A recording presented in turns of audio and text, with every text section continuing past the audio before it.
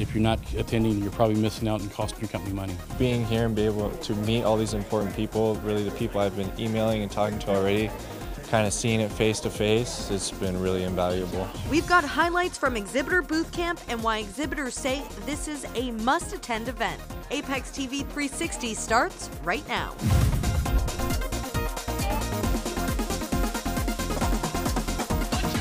Welcome to Las Vegas. We are here at the Sands Expo for Exhibitor Boot Camp. I'm Christina Jensen for AAPEX TV 360. This year's Boot Camp schedule was packed with informative sessions, one on one meetings, and tours of the Sands Expo, which is, of course, home to AAPEX. It's really important to come to boot camp. It's like a non-negotiable. It goes on our calendar immediately when we get the date um, because we absolutely want to be here. There were two stops on the 2018 Roadshow. The first stop was Detroit at the Mulla Aftermarket offices, where over 40 exhibitors attended. The next and final stop was the Sands Expo. The first session allowed exhibitors to learn about show updates, sponsorships, and AAPEX vendors. It also included pre and post show planning, tips to have a better show, and presentations from official AAPEX vendors. Chris Kalusik with AAPEX Show Management spoke about new sponsorship opportunities. They include a new virtual reality experience, exhibitor outreach program, AAPEXShow.com promotion, and a free booth listing upgrade. The VR experience is actually going to be a virtual game. Uh, uh, buyers will put on the virtual headset and it'll take them into a garage. So when they're when they put the headset on, they'll be in a garage and they'll have to physically grab parts. Sponsors of this of this VR experience will have banners inside the virtual garage. This session also offered insight on how to enhance exhibitor ROI. Maureen Winston from MDG offered a few tips.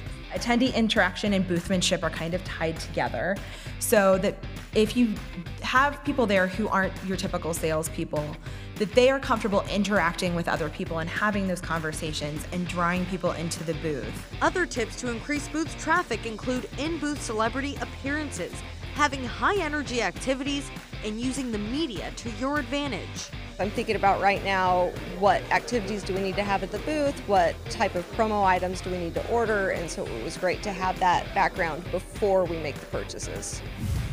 In session number two, exhibitors learn the secrets on how to interact with attendees and get business done. Exhibitors in Detroit had the chance to listen to a buyer panel that included Jerry Zielinski from Motown Automotive Distributors and Tom Van Cleve from A&J Automotive Warehouse. In Las Vegas, exhibitors listened to an in-depth discussion featuring Frank Lutz from Desert Car Care. The discussion was tailored specifically towards speaking to service professionals because the partnership with the Alliance will result in over 5,000 service professionals walking the show floor on Thursday.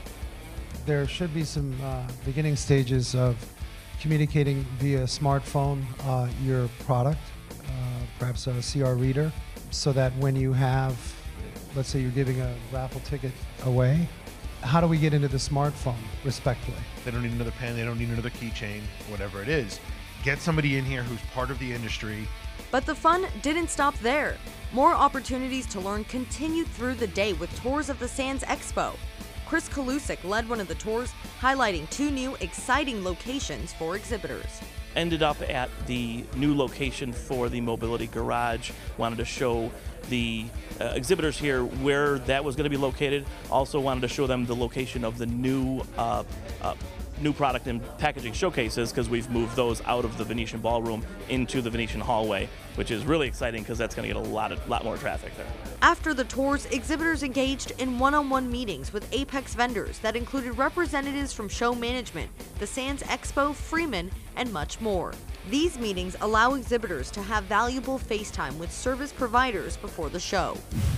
And let's keep the hot connections going at a cool party. Attendees enjoyed themselves at the Minus 5 Ice Experience. This venue serves as another option for exhibitors to use as a meeting space. We can offer private events. Uh, we like to put logos on the LED screens, as you can see. We can do custom logos. We can brand equipment, supplies, anything you want in ice, which is amazing. People can brand their auto parts in ice. All in all, Boot Camp was a huge success. AAPEX TV 360 would like to thank the Mulla campus and the Sands Expo for hosting this year's Boot Camp. Boot Camp is so invaluable. I think I always stress my other clients that this is a great thing that they do. Um, it brings new exhibitors along who may not be aware of the different vendors that are there and the different opportunities they may be missing out on. Don't forget, more networking and educational opportunities are around the corner at AAPEX 2018. The show will be held from October 30th through November 1st at the Sands Expo in Las Vegas. Register now at aapexshow.com. That's a wrap on this Boot Camp edition of AAPEX TV 360. I'm Christina Jensen. Thanks for watching.